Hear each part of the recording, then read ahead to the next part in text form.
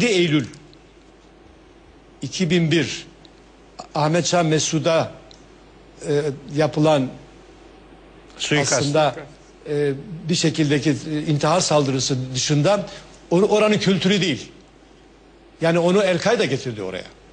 Sovyetler Birliği olan savaş yıllarında daha sonraki iç savaşta falan hiçbir şekilde o bölgenin o insanların kültürü değildi. Ama onlar da Irak'tan başlayarak oraya geldi. Ee, o nedenle de e, o şeyden kurtulmaları ancak El-Kaide'nin etkinin azalmasıyla mümkün olabilir. Bir de e, bu olaydan sonra e, eğer e, ayrıntıya girmeyeyim ama Afganistan'da gerçek anlamda bir barışı sağlayabilirse Afganistan Pakistan'da bence en büyük başarı orada olacaktır.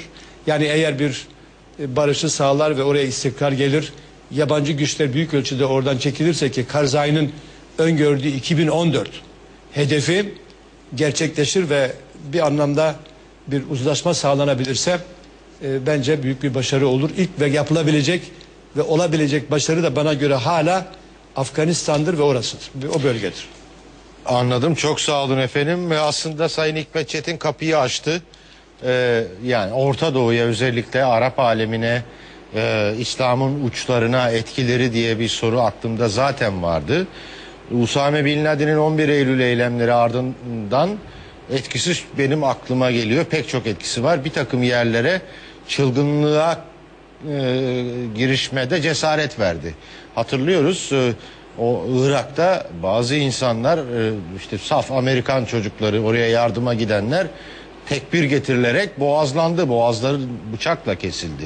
Böylesine bir süreci başlattı ama Sayın Çetin diyor ki yeni bir Orta Doğu var, yeni bir dünya var. Genç bir e, Orta Doğu var. Dolayısıyla orada e, o kadar etkisi olmayacaktır. E, Mithat Bey ne dersiniz? Artık Tabii. konuya girelim. Katılıyorum ben. Şimdi El-Kaide'nin yapmış olduğu eylemler özellikle Irak'ta yapmış olduğu eylemler Müslüman ülkeler tarafından da e, kabul görmedi. Özellikle El-Kaide'ye sempati duyan ülkelerin halkı da zaman içerisinde bunları tasvip etmedi. Ama ilk günlerde Filistin'de kutlamalar olmuştu. Yani başlangıçta 11 o- Eylül'le evet, ilgili olarak. Yani E, Bugün ama de biliyorsunuz e, kınayanlar oldu. Evet, kınayanlar da oldu. E, Hamas sahip çıktı ama o- unutmayalım 11 Eylül'de bir de Tahran'da en büyük sempati gösterisi yapılmıştı Amerika'nın lehine. Yani o işlerin çok değişik Evet. toplumsal boyutları olabiliyor. Ama şimdi baktığımızda yeni gelen bir nesil var. Hangi ülkede olursa olsun okuyan, bilen e, ve e, dünya nimetlerinde yaşamayı seven de bir nesil var. Bugün hangi en geri kalmış ülkede de bu var. Dolayısıyla bugün El-Kaide'nin bundan 10 sene öncesi gibi sempati duyması veya 2 sene öncesi gibi sempati ile bakılmasını kendilerinin de beklemesi veyahut da bunu beklememiz bence yanlış olur. Dolayısıyla e, şimdi El-Kaide'nin işi bundan daha sonra daha da zor olacaktır. El-Kaide bundan 10 yıl önce belki 8 yıl önce bir kısım insanlara cenneti vaat edebiliyordu ve buna inanan insanlar vardı. Ama şimdi baktığınız zaman dünyada bu tür insanları bulmak her geçen gün yani bugün akşamdan yarın sabaha kadar daha zorlaşacaktır.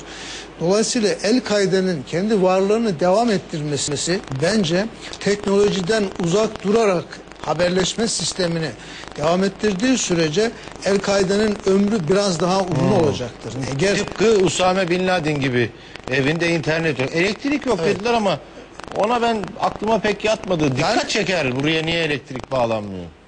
Teknolojiyi kullandığınız zaman şu gelişmiş olan teknolojide özellikle Amerika Birleşik Devletleri gibi ve onun müttefikleri gibi sizin kullandığınız her teknoloji onlar tarafından bilineceği için, dinleneceği için, tespit edileceği için burada eylem yapacak hücreleriniz eylemden önce imha olabilir. Bunlar yine tahmin ediyorum ben en ilkel usullerle bu hücreler yaşamaya çalışacaktır. Ama ne zamana kadar? Eleman temininde zorlaştıkça kendi kendine hiçbir terör örgütü yok olmayacaktır ama kontrol edilebilir seviyeye çekilecektir. Peki teknolojiyi kullanamam ama en önemli Evet. dezavantajlarından biri o onları yavaş yavaş eritir diyorsunuz. Ahmet Han bu konuda bir şey söyleyecek. Ee, Yani e, iki şeyi birbirinden ayırmak lazım. Bir e, hareketin bu terör örgütü de olsa siyasal hareket de olsa en e, hareketli zamanları, en canlı zamanları kuruluşu ve yok oluşudur. Bader-Meinhof kaç kişiydi? Kara Eylül kaç kişiydi? Yani e, El-Kaide'nin bir fikir olduğunu kabul ediyorsak etmek durumundayız her tür e, veri onu gösteriyor. O e, El-Kaide fikri varlığını ve eylemlerini belli şekillerde ifade edecektir. Şimdi esas Orta Doğu'yu bekleyen büyük kıyamet ki bu e, tamamen bu programın şu limite konusunun dışında ama esas meselesi Orta Doğu'nun Suudi Arabistan'da ne olacak? Suudi Arabistan'da olanlar olurken, yani İran falan da değil, Suudi Arabistan bütün bu dönüşümden nasıl etkilenecek? Amerikalıların ne yapmaya çalıştığını üç aşağı beş yukarı görebiliyoruz. Bütün Orta Doğu dönüşürken Suudi Arabistan'ın böyle şeysiz, e, sıkıntısız pat diye düşeceğini ve e, emniyetli bir ağa düşerek transforme olacağını, bundan öncesini unutalım falan bekliyorlar Amerikalılar. Yani böyle bir ortam yaratmaya çalışıyorlar. Ee, ama bu olacak mı? Bir. Yani bu olmadığında ki olmayacaktır. Bu olmadığında veya Orta Doğu'daki mevcut transformasyon, e, bu Arap Baharı e, barışçıl sonuçlar vermez ise El-Kaide bir efsane olarak kalır ama onun yerine bambaşka örgütler ortaya çıkacaktır. Sonra bir şeyin daha altını çizmek lazım. Ee, bu tür e, terör örgütleriyle ilgili olarak e, tabii bu işin pratiğini yapmış e, bir kişi var aramızda. E, Mithat Bey belki daha başka bir e, yaklaşım da getirebilir. Ama ben e, kendi terörle ilgili çalışmamdan şöyle bir e, kanaate sahibim. Planlı terör örgütünden çok çekinirim. Ama plansız eylemci daha sıkıntılı bir şeydir. Yani planlı terör örgütü çünkü bir hedefi vardır, kaynağı vardır, bir e, stratejisi vardır. Elindeki kaynakla o hedefi ne kadar gerçekleştirebileceğine dair bir rasyonelite algısı içinde hareket eder falan. Ama plansız terör örgütü yani sesi getireceğim deyip yan taraftaki çöp kutusunun içerisine de olmadık bir şey bırakabilir. Böyle bir e, dönem geçirecektir El-Kaide. Ve bu dönemi engellemek e, istihbarat örgütleri için de çok zor. Çünkü 8 kişi bir arada plan yaptı mı onu izlemek biraz daha kolay. Bir tanesinin vicdanı mesela e, El vermez, bir biçimde el vermeyebilir. Ama tek başına bir adam ya da e, ciddi şekilde e, baskı altında bir grup bir anda karar verip eğer bir eyleme girişirse orada Evet, ciddi peki. yıkıcı sonuçlar söz konusu olur. Ee, İnal Bey ne dersiniz? Amerika bu yeni e, peşinden gelecek eylemler riskini göz önünde bulundurmadı mı ve Orta Doğu'ya etkileri? Ben biraz evvel söylediğime dönmek istiyorum. Filistin meselesi ikiz kuleler saldırısını tetiklemiştir. Evet. Bunun Evet. aksine beni kimse ikna edemez. Yani o 21 kişi hepsi iyi tahsilli, uçak mühendisi vesaire, pilot.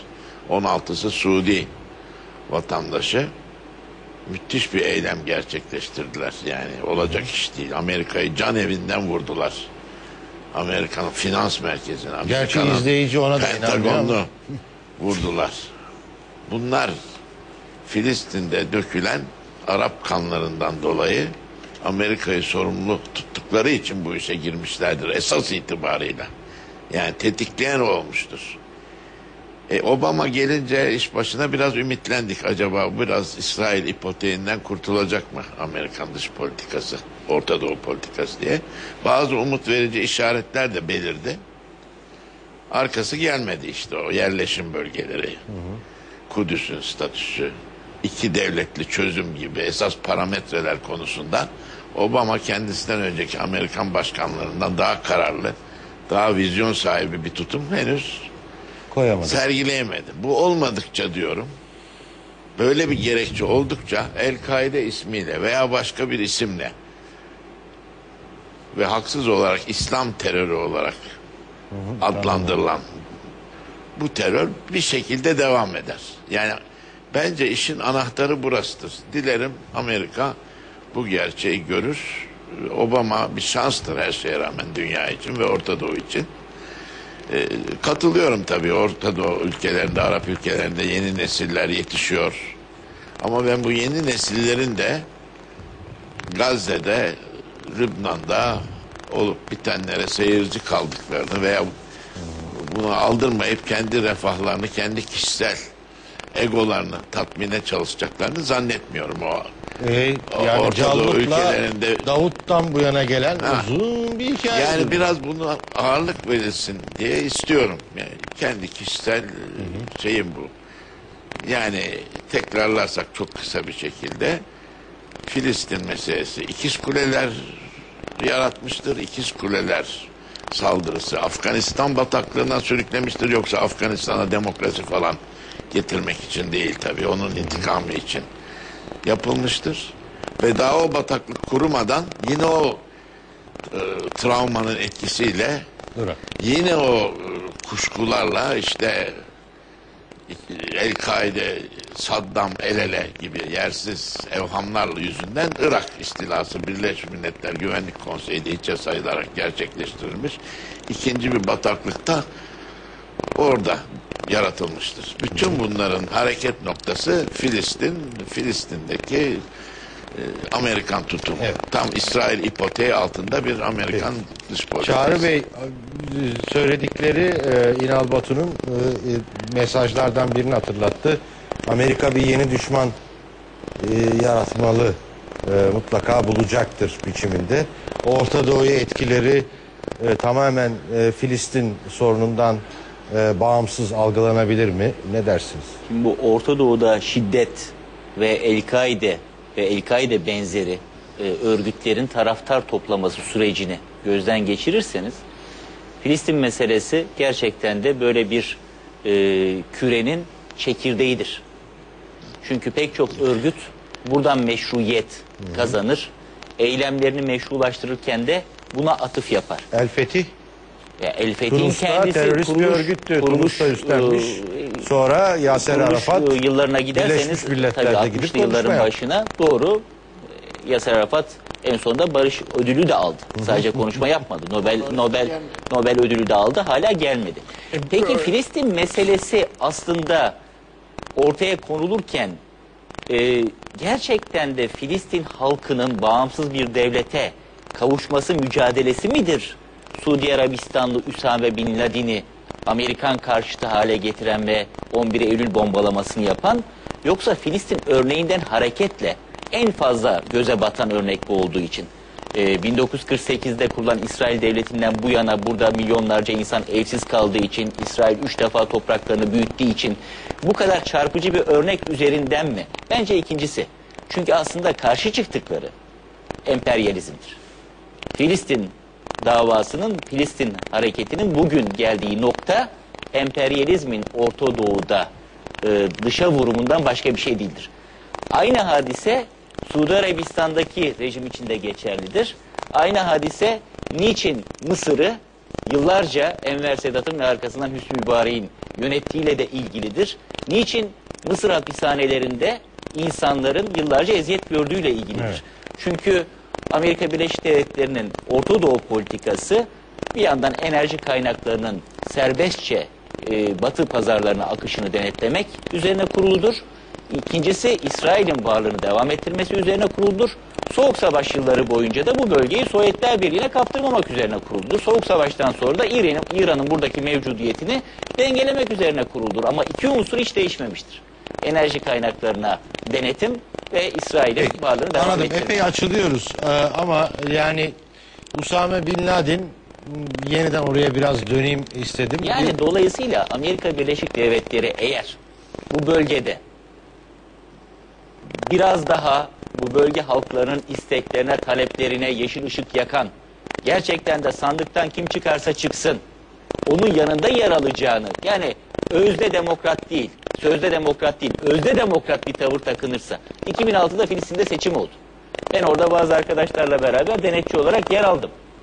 Dışişleri Bakanlığı'nın bir ekibiyle gittik. Biz üniversite öğretim üyeleri olarak gittik.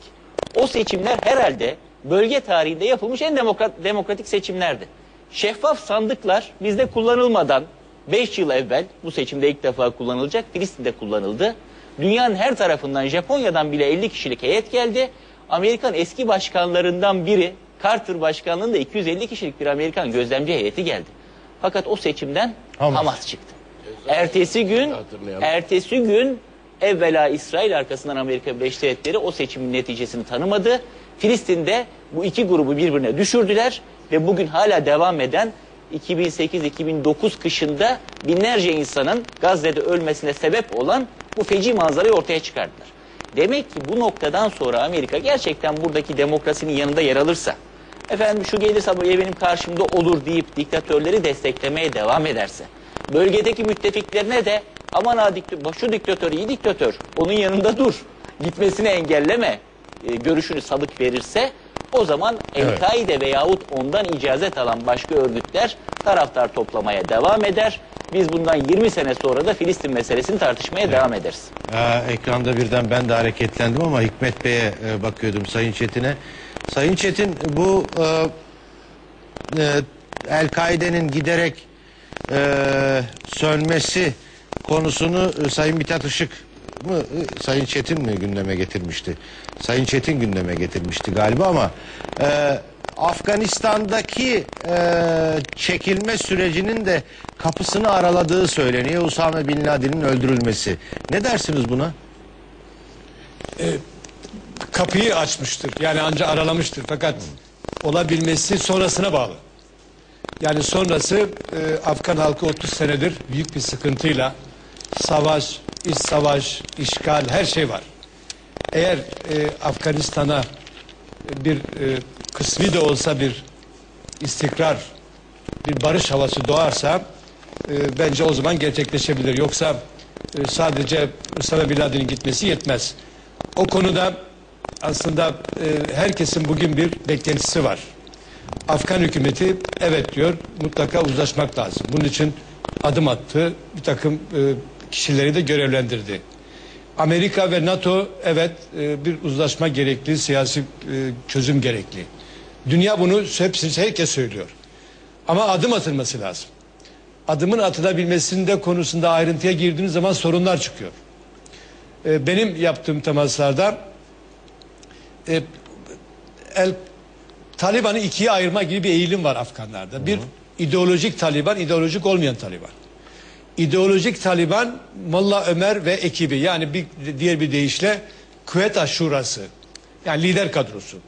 Onlarla bir uzlaşmaya varmaya Amerika'daki şey Afganistan'daki bazı kurumlar ve örgütler ve e, bir anlamda halk buna karşı. Bunun yerine e, savaşan Taliban var. O 25-30 bin kişi olduğu söyleniyor. Onlarla bir uzlaşma sağlanmasının e, bu konuyu çözeceği görüşü var. Burada e, Sayın Karzai de bu görüşte. Onun için de bir e, Afgan güvenlik güçlerinin hızla eğitiminin yapılması ve bunlara gerekli donanımın verilmesi önerisi var. Ve ayrıca o 25-30 bin kişiye iş vermek, güvenliklerini sağlamak, kendilerine bir kimlik vermek ve bunların geleceğini güvence altına almak şeklinde bir politika izlenirse o zaman e, şey Taliban'ın büyük ölçüde Evet. çökeceği görüşü hakim. Yani o Şimdi kadar bunlar hepsi alakalı bir tartışmalı. durum değil diyorsunuz. Ee, Usame Bin Laden'in öldürülmesiyle Afganistan'daki süreç pek o kadar birbirini etkileyebilecek e, durumlar değil. Yani etkilemenin yolunu açmıştır. Şöyle açmıştır. E, ve bunun yanında tabii Afganistan'da El-Kaide ve Pakistan'da El-Kaide'nin etkinliğini azaltmak lazım. Yani bunun bir Taliban konusunu ele almak lazım. Taliban bölge insanı. Taliban Afganlı, Taliban Pakistanlı. Taliban'ın böyle ben gideyim başka dünyanın başka yerinde kulelere gideyim, Avrupa'ya gideyim böyle bir niyeti yok. En azından bugüne kadar yok. El-Kaide belki bunları bu yöne de itmeye çalışıyor ama bugüne kadar e, Taliban'ın bölge dışında bu iki ülke dışında herhangi bir talebi yok. O zaman bunlarla uzlaşmak kolay olabilir Evet. bazı alanlarda Peki ama efendim. bunun için de El-Kaide ilişkisinin kesilmesi lazım. Bu bir adım bir yol açmıştır. Osama Bin Laden'in öldürülmesi. Bu- Bunun arkasının gelmesi lazım. Peki efendim. Bu konuda da Pakistan kilit nök- ülkedir. Pakistan'la birlikte El-Kaide en azından o bölgedeki etkinliğini kaldırmasak bile en asgari düzeye indirmek gerekir. Peki. Bu zannediyorum e, sağlanabilecek en olumlu adım olur diye düşünüyorum. Çok teşekkür ediyoruz. Bülten zamanı geldi. Bülteni alacağız, dinleyeceğiz, izleyeceğiz. Ardından son tura geçeceğiz.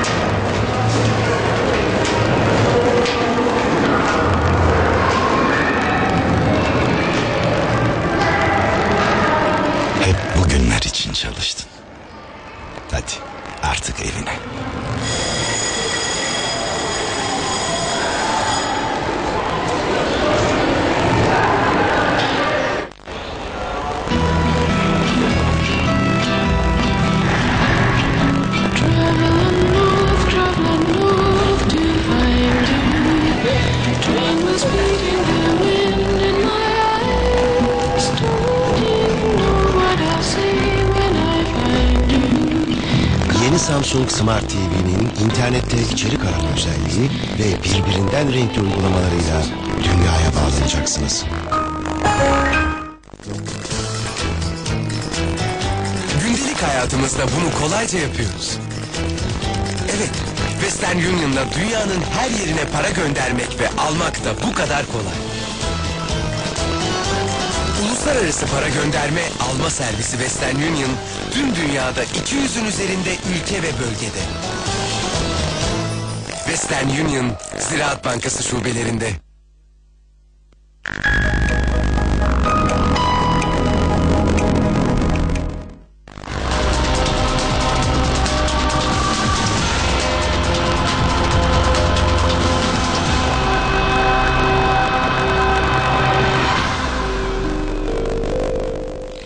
NTV Haber Merkezi'nden iyi geceler. Günün gelişmeleriyle karşınızdayız.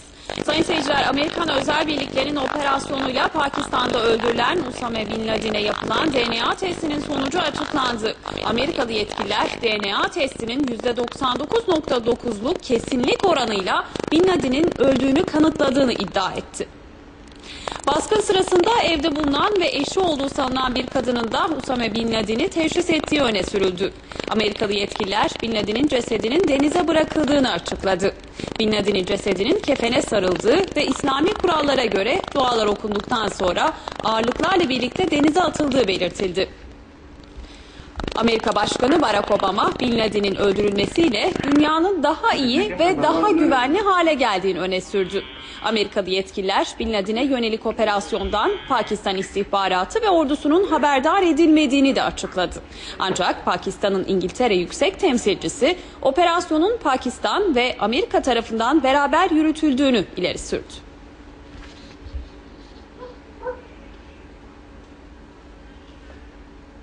Bin Laden operasyonun ayrıntıları da netleşiyor. Bin Laden'in Amerikan özel birliklerine karşılık verdiği için öldürüldüğü öne sürüldü. Washington'da kameraların karşısına geçen Beyaz Saray terörle mücadele danışmanı John Brennan, Usama Bin Laden'in öldürülmesi için yılanın başına kestik ifadesini kullandı. Brennan, operasyonu düzenleyen birliğe karşılık verdiği için öldürüldüğünü söyledi. Brennan, eğer fırsatımız olsaydı onu canlı ele geçirirdik dedi. Brennan, Bin Laden'in Pakistan'dan yardım almadığı iddiasının inandırıcı olmadığını belirtti. Bu konuyla ilgili spekülasyon yaratmak istemiyorum diye konuştu. Beyaz Saray danışmanı, El-Kaide liderinin öldürüldüğünün herkes tarafından kabul edilmesini sağlayacak bilgileri de yakında kamuoyuyla paylaşacaklarını söyledi. Hafta sonu NATO bombardımanında Kaddafi'nin oğlu Seyfül Arap ve torunlarının öldürülmesi Libya'da dengeleri değiştirdi. Protestolar ve saldırılar üzerine Birleşmiş Milletler çalışanlarını ülkeden geri çekti. Trablus'ta NATO operasyonlarına katılan İngiltere ve İtalya büyükelçilikleriyle Birleşmiş Milletler Merkezi ve Amerika Birleşik Devletleri misyonu saldırıya uğradı. Saldırının ardından Birleşmiş Milletler Trablus'tan çekilme kararı aldı. Birleşmiş Milletler'in Trablus ofisindeki yabancı çalışanlar Tunus'a gönderildi. İngiltere'de Trablus Büyükelçiliği'nin yağmalanması sonrası Libya'nın İngiltere Büyükelçisini sınır dışı etti. Libya'da güvenlik şartlarının değişmesiyle Türkiye'de Trablus'taki Büyükelçiliğini geçici bir süreliğine tahliye etti. CHP'li İzmir Büyükşehir Belediyesi ile iki ilçe belediyesine ihaleye fesat karıştırma ve usulsüzlük yapıldığı gerekçesiyle baskın düzenlendi. 40 kişi gözaltına alındı, 2 kişi aranıyor. Mali polis ekipleri özel yetkili Cumhuriyet Savcılarının talimatıyla İzmir Büyükşehir Belediyesi birimleri ve Karabağlar ve Kuşadası Belediyesi'nde sabah saatlerinde arama başlattı. Polis ekipleri operasyonda bilgisayar kayıtlarının kopyalarını alarak çok sayıda belgeye el koydu. İzmir Büyükşehir Belediyesi'ndeki aramaların yarına kadar sürmesi bekleniyor. Operasyonda Didim, Turgut Reis, Narlıdere ve Urla belediyelerindeki ihalelerle ilgili bazı belgelere de el konulduğu öğrenildi. Gözaltına alınan 40 kişinin ifadelerinin alınmasının ardından Perşembe günü adliyeye sevk edilmesi bekleniyor. CHP'liler seçim öncesi bu baskına sindirme politikası diye tepki verdi. AK Parti'nin İzmir adayı olan Kültür Bakanı Günay da yüksek sesle söylüyorum rahatsızım dedi. 59. Eurovision şarkı yarışması için yarı final heyecanı başladı. Yarışmanın yapılacağı Düsseldorf'ta provalar sürüyor. Türkiye adına yarışacak Yüksek Sadakat grubu da provasını yaptı.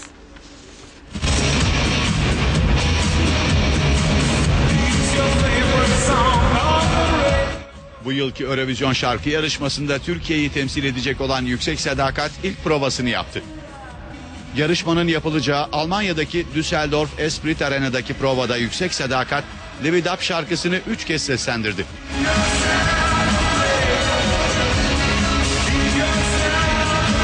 Grubu izleyenler arasında Türkiye'den gelen Eurovision fan kulübü üyeleri de vardı. Yüksek Sadakat desteklemek için geldik. Buradayız. Her sene göz benim 8. revizyonum zaten. Ben güzel olacağını inanıyorum çünkü ekip çok profesyonel. Şarkımız gayet güzel. Sonra Almanya'da Türkiye'nin iyi bir derece alması bizim en yürekten istediğimiz şey zaten.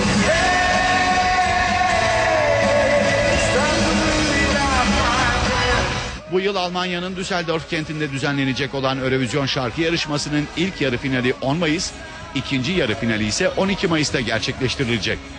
Final tarihi ise 14 Mayıs.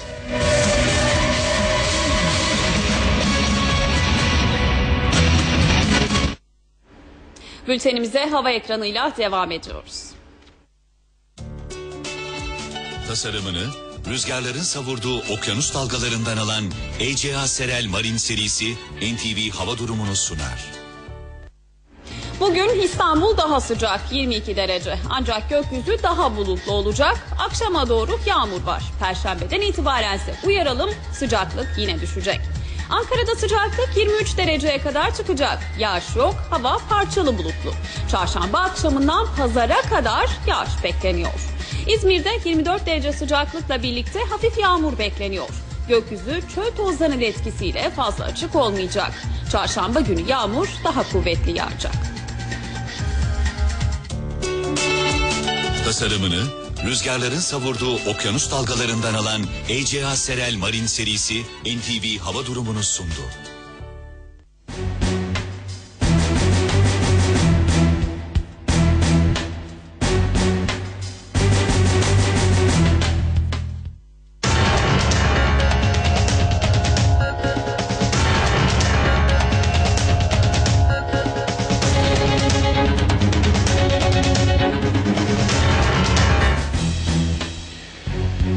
Sözde Usame Bin Laden'in öldürüldüğü haberi üzerine çeşitli boyutlarıyla konuyu ele alıyoruz. Son turdayız. Ama ben e, konukların belki de son sözlerini almadan önce hala gelen mesajlarda geçerli olan bir soruyu da sormak istiyorum. Usame Bin Laden Amerika Birleşik Devletleri'nin ürettiği bir figür müydü? Defalarca bu söylendi. Ne dersiniz İnal Bey? Ürettiği figür değil tabi. Ha ürettiği şu anlamda. Batı kendi canavarlarını yaratır sonra da onlarla boğazlaşır ve arada da olan yine o ülkelerin masum halklarına olur. Bu bir genel kuraldır. Saddam'ı İran'a saldırtan Batı'dır. Saddam'a kimyasal ve biyolojik e, silahlar satan ve sonra da sende bu var diye tepesine çullanan Batı'dır. Yani hatta Kuveyt'e saldırısını dahi özendirdiğine dair Amerika'nın o meşhur Amerikan April Büyükelçisiyle Blasby. e, o meşhur e, bant vardır konuşma bantı. E, Usame Bin Laden de çok ana hatlarıyla o hareket